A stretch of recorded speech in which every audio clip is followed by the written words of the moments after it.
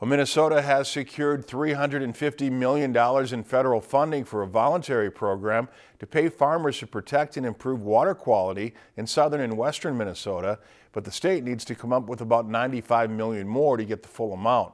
The state federal effort announced by Governor Mark Dayton on Tuesday is called the Minnesota Conservation Reserve Enhancement Program. It targets 60,000 acres across 54 counties that face significant water quality challenges.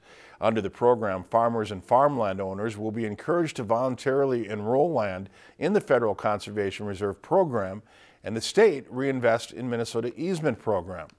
The announcement comes at a time when one of Dayton's laws requiring buffer strips of vegetation between farm fields and waterways is under fire from lawmakers and farmers.